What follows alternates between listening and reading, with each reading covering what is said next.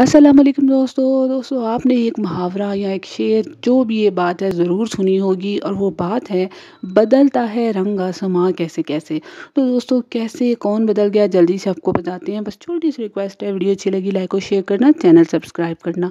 तो दोस्तों, कल से डॉक्टर आमिर की डेथ की खबर तो हर तरफ़ फैल गई, मगर अब दानिया, जो कि उनकी तीसरी बीवी हैं, उसका इंटरव्यू बहुत सारे चैनल्स पे, बहुत सारी जगहों पर आया है, जिसमें कि वो यही कह रही हैं कि उनकी डॉक्टर आमिर से अब दोबारा से सुलह होने जा रही थी। वो बहुत अच्छी बन गई हैं और ऐसे प्यारे प्यारे जुमले बोल रही हैं डॉक्टर आमिर के लिए।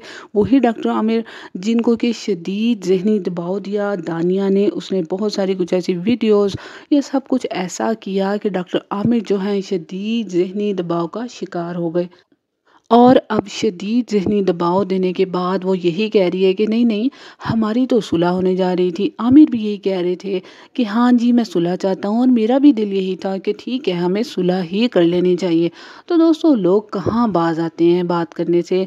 लोग अब यही कह रहे हैं कि जो दानिया है, इसको पैसे का लालच है, इसको उस जायदाद का लालच है जो कि डॉक्टर आमिर की है। तो अब जानते हैं, डॉक्टर आमिर के पास बहुत रुपया पैसा और जायदाद थी, इसीलिए अब ये बिल्कुल अपने सारे इख्तलाफात बुला के कुछ ऐसा करना चाह रही है कि उस जायदाद में से कुछ हिस्सा इसका भी हो।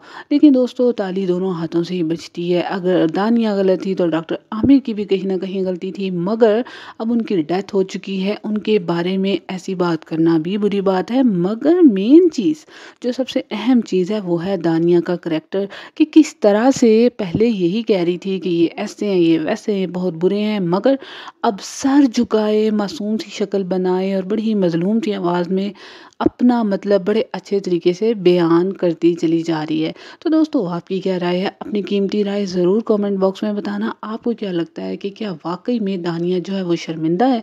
उसको कुछ बुरा फील हुआ? तो ज़रूर बताइएगा। मेरी वीडियो अच्छी लगी तो लाइक और शेयर करना। चैनल सब्सक्राइब करना। अल्लाह हाफिज़।